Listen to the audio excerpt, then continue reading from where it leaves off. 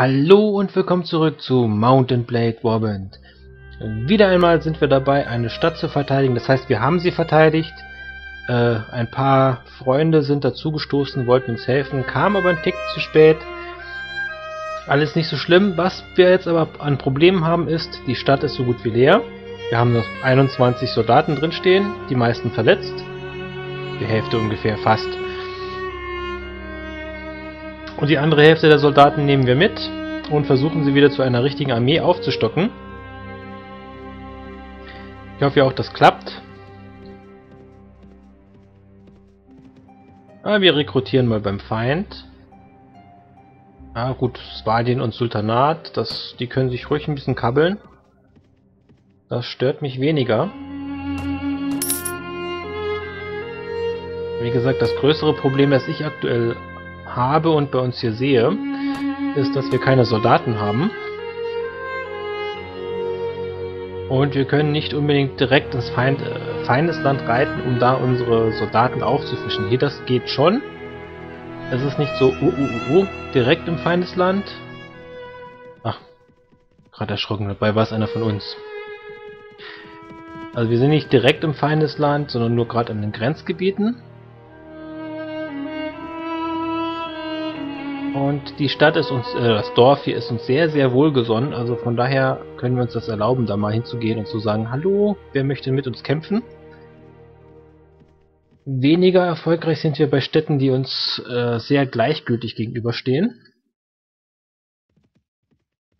Oder Städte, die halt eben äh, wahrscheinlich noch kaum Bevölkerung haben, wie das hier. Ich bin mal gespannt, wie viele gute Soldaten, also gut werden sie erst später, aber wie viele Soldaten wir eigentlich jetzt äh, rekrutieren können.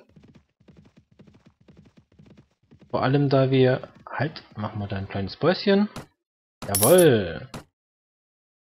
Au. Futterkorb, Käse. Gute Sachen. Die habe ich schon ewig nicht mehr gehabt. Käse nicht, Fruchtkorb nicht. Trauben sind auch günstig. Nehmen wir auch mit.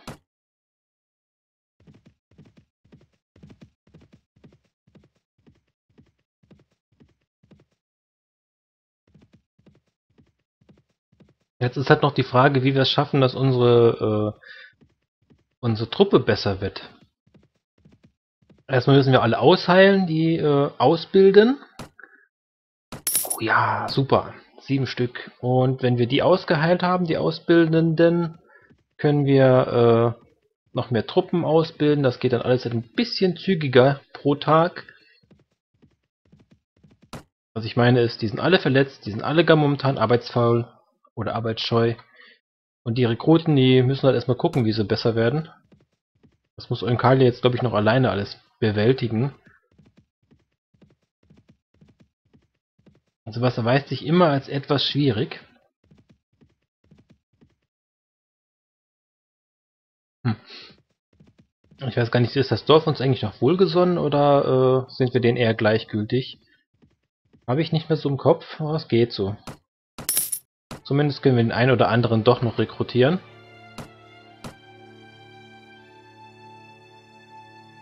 Ah, da oben ist Ruhe im Dorf. Das nutzen wir gleich aus.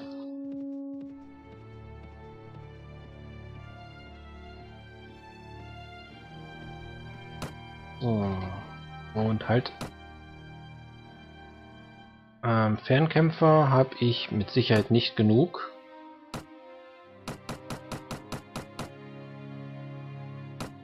Fußgänger nach unten. Dankeschön. Das sind 17, 20 Stück. 20 Fernkämpfer ist eigentlich nicht viel.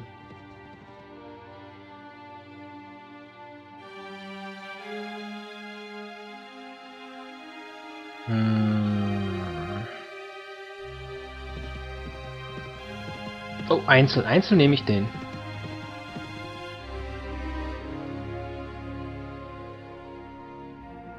Ja, unser Ruhm eilt uns voraus und er möchte uns doch gerne mal äh, in der Schlacht begegnen, bla bla bla.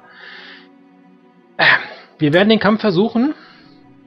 Zahlenmäßig sind wir zwar ganz knapp unterlegen, aber ausbildungstechnisch sind wir ganz massivst unterlegen. Mal sehen, ob wir da noch was reißen können.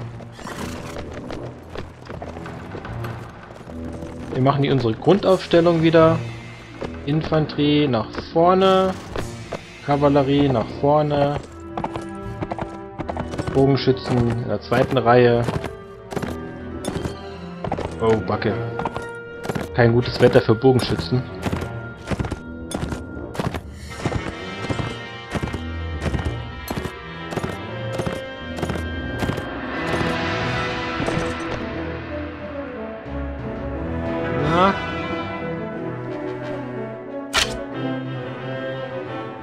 Was? Ich habe die Belagungsarmbrust. Ah! Ach ja, stimmt, ich habe ja vergessen zu wechseln. Mal wieder.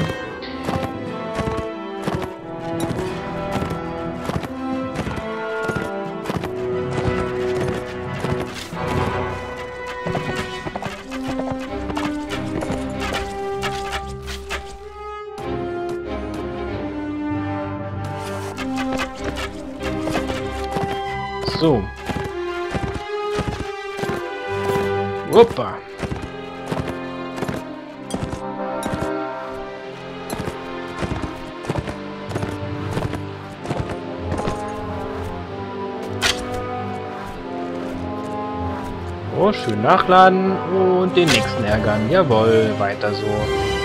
Jeder Schaden, den wir jetzt machen, brauchen unsere Soldaten nachher nicht zu machen. Das ist einfachste Mathematik. Und jetzt geht's los. Ich schicke auch gleich unsere Kavallerie vor.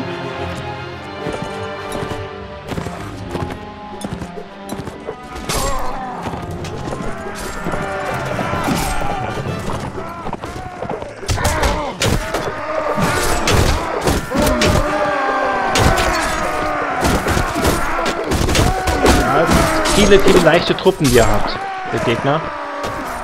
Also, alles machbar.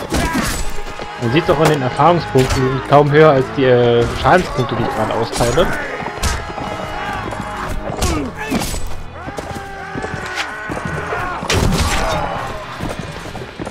Aber jeder Streich zählt. Hoppla.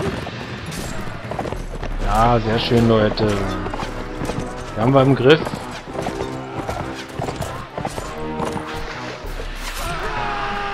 Super. Das habt ihr sehr gut gemacht.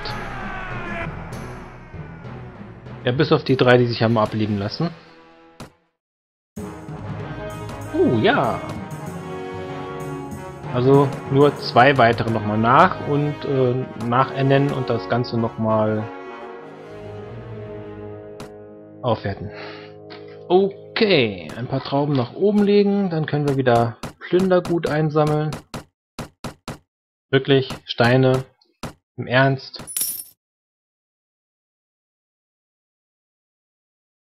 Ah, nein.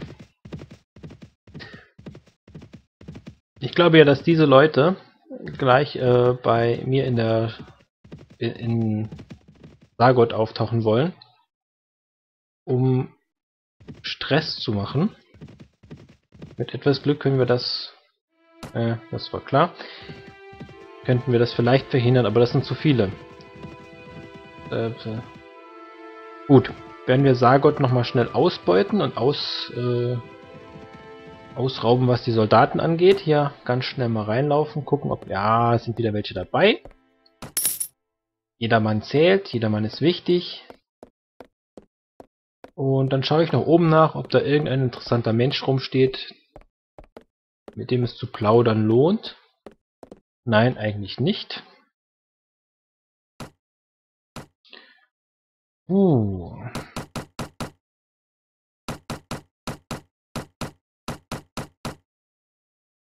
So.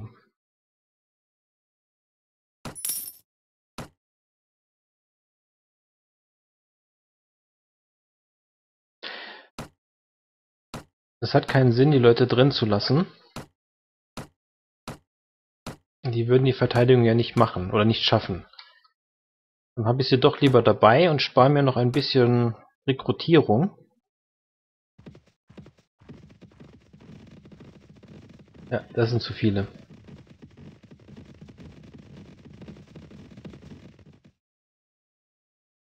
Ja, das habe ich mir gedacht, dass die die Stadt belagern. Vielleicht kann ich ja in Kurov jetzt wieder Stress schieben. Das wäre vielleicht eine Idee. Und jetzt halt äh, ist ja relativ viel Feind gebunden, wenn er immer zwischen zwei Städten hin und her tingeln muss, genauso wie ich. Aber ähm, ich bin ja eigentlich nur einer. Und die kommen dann mit dem ganzen Tross immer hin und her gezockelt.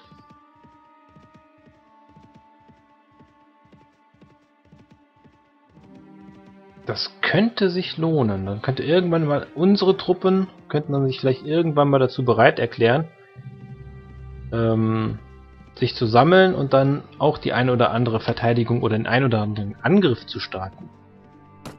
So. Sollte schnell, so schnell wie möglich jedes Mal die rekrutierten Leute auf den neuesten Stand bringen. Also den, den höchsten Ausbildungsstand.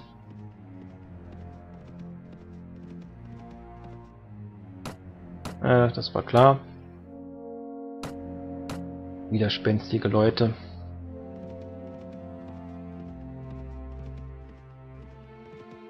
Weil wenn wir den besten, also was, ich sagen wollte, was wir, wenn wir den besten Stand mit den Leuten haben, haben wir halt eben eine höhere Chance zu gewinnen und das ist viel. Viele Bogenschützen-Veteranen. Hm. 74 Leute. Und meine Leute sind noch nicht sehr gut ausgebildet. Jedenfalls die meisten.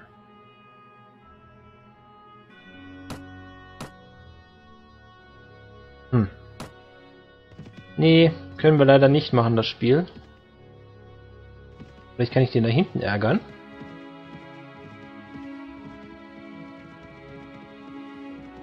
Patrouilliert. Sieht mir eher so aus, als wäre er auf der Flucht von mir. Und das ist er auch.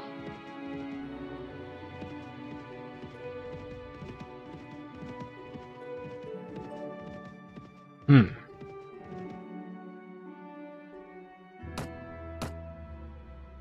Ja, leider kriege ich keine weiteren Soldaten dazu.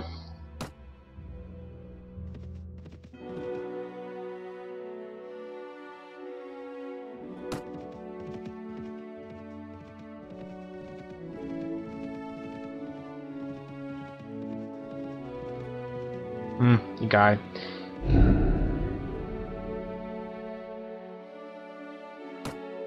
Ja, da meckert jemand, dass wir es nicht geschafft haben, also der, unser Baumeister meckert, dass wir es nicht geschafft haben, uns rechtzeitig zu einem, zum Truppensammeln einzufinden.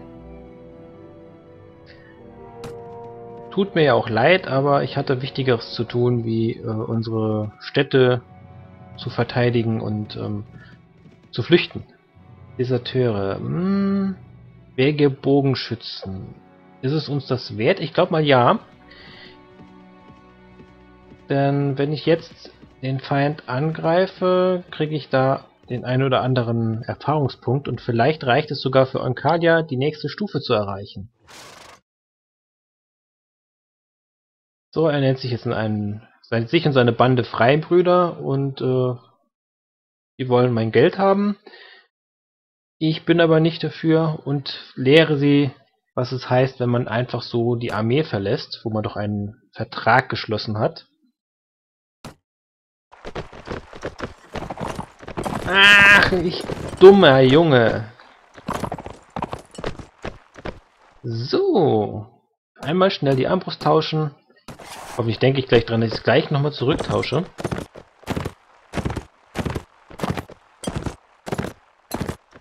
So, ich rufe sie alle mal zu mir, sollen mich in meiner Nähe aufhalten, wenn wir kämpfen.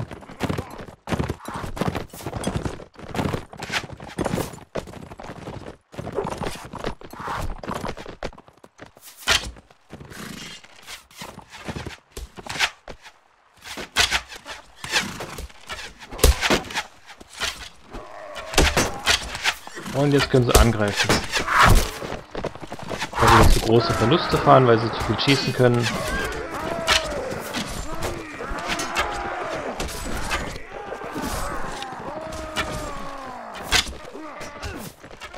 Ja gut, Fehlerfangspunkte mache ich so nicht, das ist klar. Ach.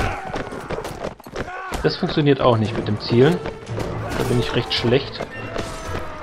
Na, komm, komm, komm und... Ja, getroffen.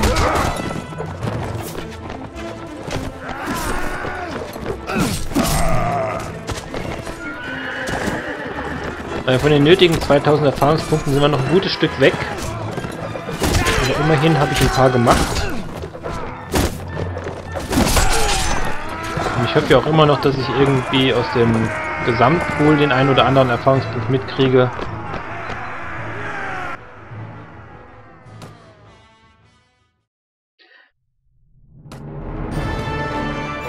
Oh, das ist gut. Wir können alle mitnehmen. Wir haben jetzt gleich wieder eine richtige Armee.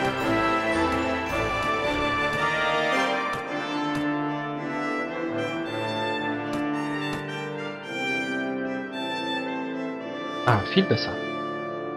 Sehr viel besser. Und jetzt noch ein bisschen Ausrüstung. Können wir da bestimmt irgendwo eintauschen. Unbewusst war es eine gute Entscheidung, stelle ich gerade fest. Jetzt haben wir nämlich wieder eine richtig schlagkräftige Truppe. Naja, zumindest von der Stückzahl her. Ah, er hat noch ein paar Armbrustschützen. Speerwerfer.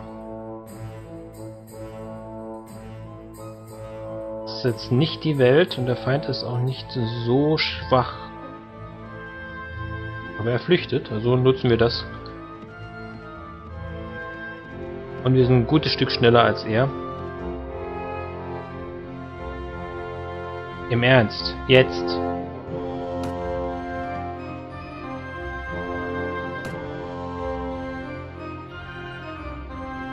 Ja, der ist ziemlich begeistert von uns. Stelle ich auch gerade fest, aber ähm, ich kann ihm jetzt nicht mal das Fell über die Ohren ziehen.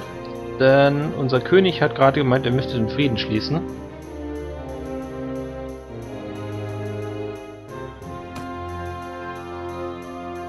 Ah, nee, ich bin kein Ausbilder für euch. Nein, lass es sein. Vor allem nicht für den für die Konkurrenz sozusagen.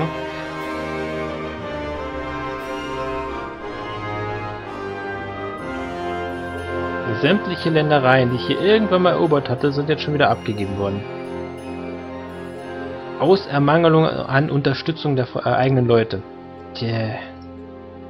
Wie mich sowas ärgert.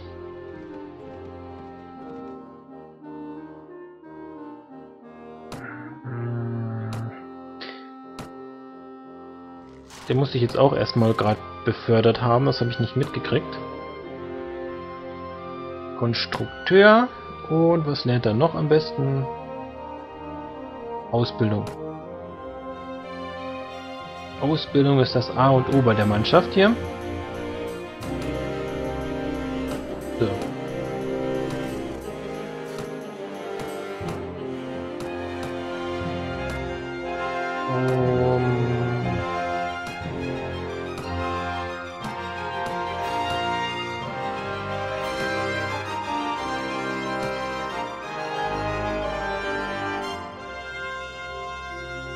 Na gut.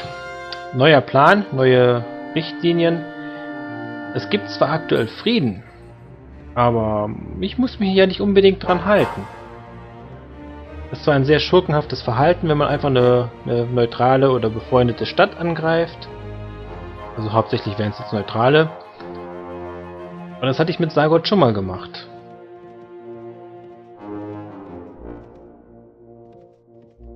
Hm. Ich glaube, ich werde als allererstes meine, meine Ressourcen aufstocken. Da ich ja jetzt nur 70 Soldaten habe von potenziell 100.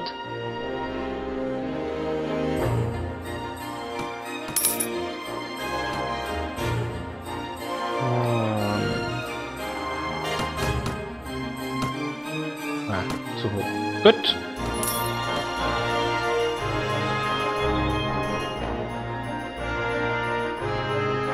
Werden erstmal so ein bisschen rekrutieren, ausbilden, rekrutieren, ausbilden.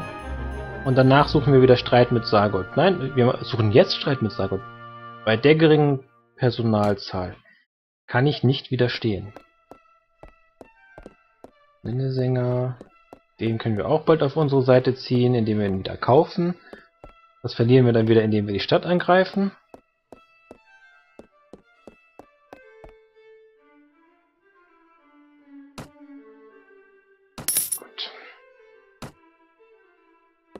Ah, wie ärgerlich. Hm. Das ist ja so ärgerlich mit dieser Stadt, dass wir die doch, doch verloren hatten am Schluss.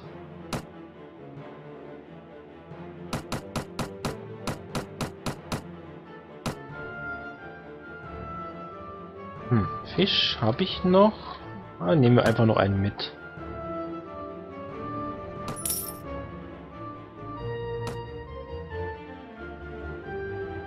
Nee. Ah, zum Verzweifeln. Aber ich werde jetzt einfach erstmal voll rekrutieren vollständig ausbilden und vielleicht noch den ein oder anderen Zweig an Verbrechern fangen.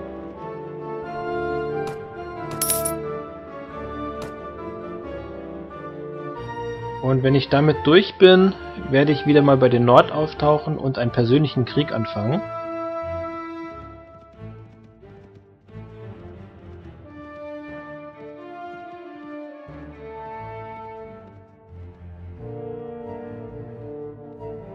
Braven nicht so stark bewacht wäre, würde ich das in unsere Reihen eingliedern. Wäre vielleicht sogar viel sinnvoller, weil es relativ dicht am eigenen Reich liegt und damit eine, eine gewisse Verteidigung gewährleistet wird.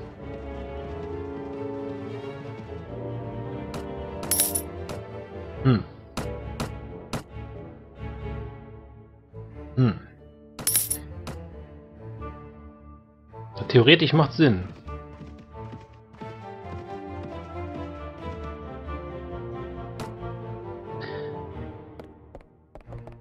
Mal schnell schauen. Buchhändler, was hast du für mich zum Lesen dabei? Rundbehandlung ist jetzt nicht ganz interessant. Äh, weiß ich gerade nicht, für, das, für was das ist. Das würde uns die Intelligenz steigern. Das würde unsere Handels Handelsfähigkeit steigern.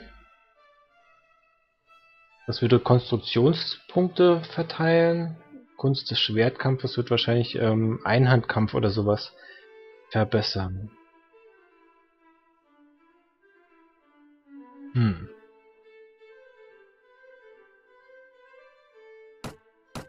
Tauschen wir erstmal die Armbrust und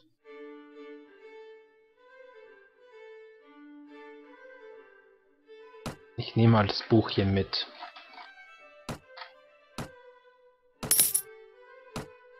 So. Schön, schön. Ähm, auf dem Markt gibt es hier vielleicht noch irgendwas. Ja, gibt es. Kohl habe ich aber noch. Käse. Käse geht zur Neige, das nehme ich mal mit. So, und jetzt zeige ich euch was Neues, das haben wir noch nicht gehabt.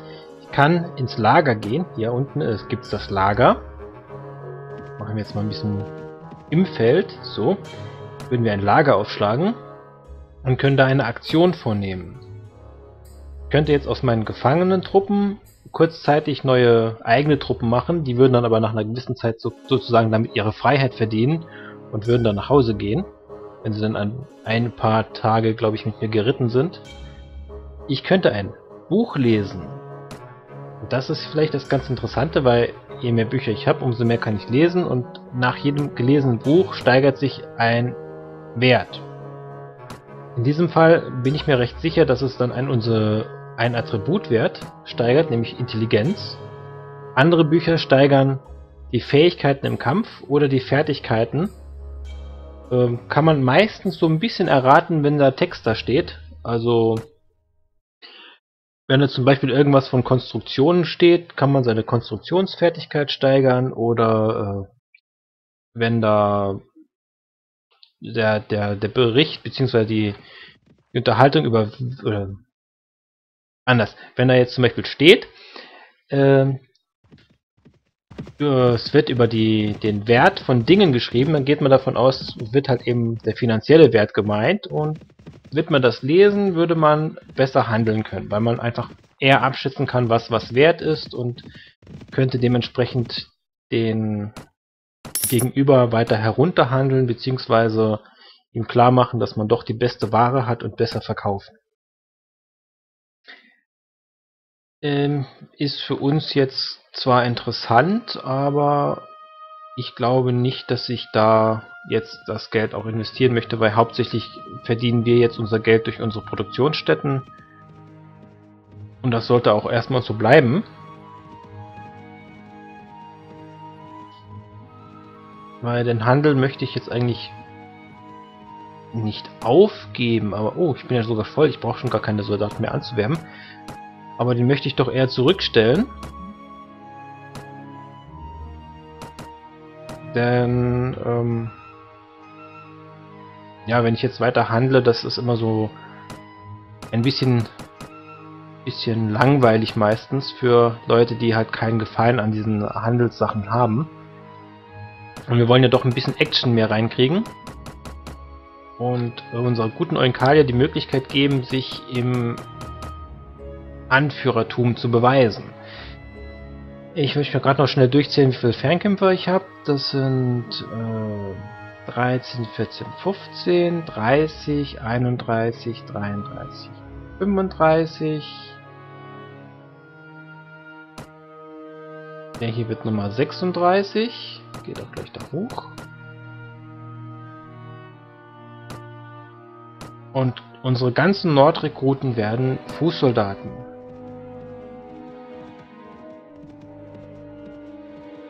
Genau. Fußsoldaten, dann können wir... Hey, da fällt mir ein, wir können sie auch mal in unserem Dorf sehen lassen. Da möchte ich doch auch mal einen Blick reinwerfen. Vielleicht kann ich da das nächste ausbauen. Ein Kalia wird jetzt natürlich in jeder freien Minute, die sie hat, dieses angegebene Buch lesen. Das heißt, wenn sie jetzt durch die Gegend reitet, hat sie nicht wirklich frei. In der Zeit kann sie das Buch nicht lesen. Allerdings, wenn sie zum Beispiel bei einer Belagerung ist, dann muss ja das Personal sozusagen die Arbeit machen und ein Kalia kann sich dann zurücklegen und äh, beobachten, wie ihr, ihre Leitern wachsen und äh, die Belagerungstürme errichtet werden und so weiter und kann zwischendurch halt auch mal einen Blick ins Buch werfen. Und sobald sie es geschafft hat, das ganze Buch zu lesen, genau dann äh, wird sie diesen, äh, kriegen wir eine Nachricht, das Buch ist zu Ende gelesen, wir können die Fertigkeit freischalten. Oder die Fertigkeit ist dann freigeschaltet, also 1, 1 erhöht oder das Attributwert, je nachdem. Und sobald das soweit ist, dass das äh, dass der Attributwert äh, erhöht wird, können wir dann auch das Buch verkaufen. Dann brauchen wir es nicht mehr aufzuheben. Also von daher eine ganz feine Sache. Kaufen, lesen, verkaufen. Den Attributwert können wir dann aber nicht nochmal mit einem weiteren Buch steigern. Also auch wenn man das Buch zum zweiten und zum dritten Mal kaufen würde, kennt man ja schon alles, würde also nichts mehr bringen. Alle weiteren Steigerungen müsste man sich über die Attribute wieder erarbeiten. Oder über die Charakterstufen. Deshalb ist es eigentlich immer etwas ratsamer, die Bücher erst später zu kaufen und nicht am Anfang. So, wir haben einen neuen Marschall, den Gerlux.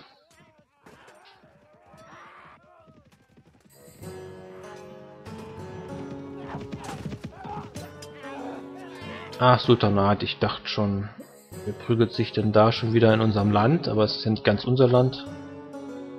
Also alles gut. Keine Probleme. Äh, ja. Unser Scout war mal wieder schlecht, der hat den Fluss nicht gesehen oder nicht gekannt. Deshalb muss er einen kleinen Bogen reiten. Anstatt gleich hier geradeaus runter und dann zu unserem Dorf zu reiten. Aber nicht schlimm, nicht schlimm. Alles im grünen Bereich. Haben auch alles unter Kontrolle. Äh, verwalten wir mal das Dorf. Ähm, okay. Unser Dorf braucht noch 25 Tage, um die Mühle fertigzustellen. Und sie haben teures Salz. Hm, okay. Ja, wie wir jetzt weitermachen, muss ich mir auch erstmal überlegen. Aber das sehen wir dann auch gleich in der nächsten Folge. Bis dahin, gute Nacht da draußen. Was immer ihr sein mögt.